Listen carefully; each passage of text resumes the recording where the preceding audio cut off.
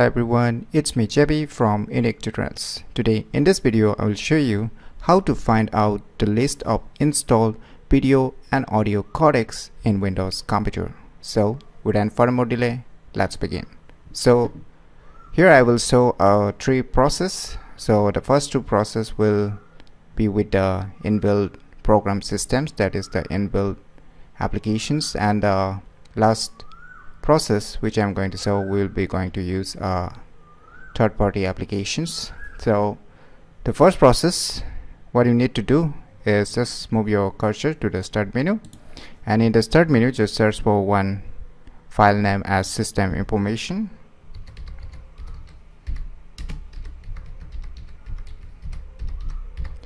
So you can see here system information. So you need to search this application. And after searching it you can see it on the start menu then just click on it or open it. So you can see it system summary. So we'll now discuss about other options. And you can see here the components right?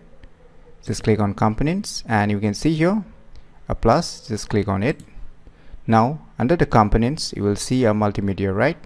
Just click on it. And again just click on the plus. Now here you will see a video and audio codecs. So if you click on the audio codecs it will display all the installed audio codecs. And if you click on video codecs it will display all the video codecs that are being installed in your Windows computer.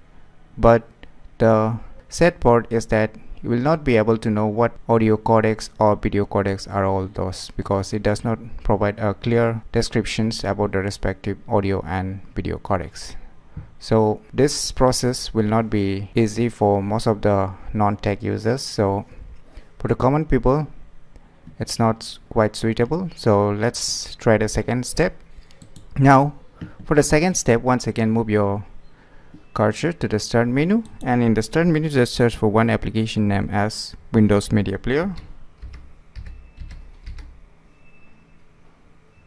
So you can see here Windows Media Player just search this application and open it.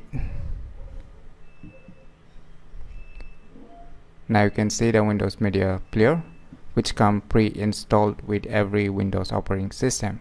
So just move your cursor to the blank area. You can see here a blank area and just right click on your mouse.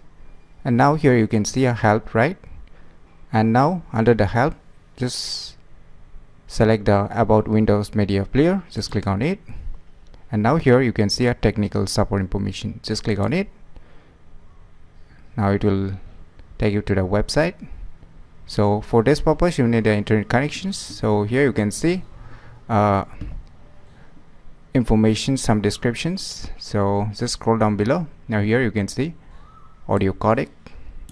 And just below it you can see the video codecs that are being installed in your Windows computer. So you can see here much clearly than the earlier one. So here you can see what are the video and audio codecs. So you can see the video formats mp4 wmv xbit DivX. So tons of video codecs are pre-installed in your windows computer and tons of audio codecs are installed in your windows computer. So these are all using the system inbuilt applications. Now let's try the third process that is we're gonna use a third-party application for this. So just open any web browser and in the Google search just search this application name as NirSoft install Codex.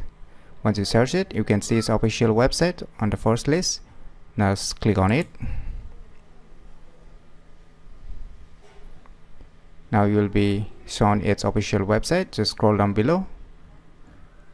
Now you can see here two download options. If you're using a 32-bit Windows operating system then you can select the first one. And if you're using a 64-bit Windows operating system then just select the down one. So right now I'm using a 64-bit Windows operating system so I'll be selecting the second one. So firstly download this file. So the file has been downloaded. Now let me go to the folder where it is being downloaded and let me close the web browser now just extract the file.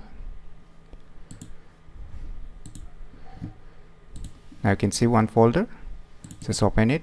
Now here we'll see uh, three different files. So just you can see the middle one install codecs this is the application. So just double left click it to run the application. Now here you will be shown a tons of audio and video codecs now you can see all the audio and video codecs will be displayed. So you can see here. So in my Windows computer this much of audio and video codecs are being installed.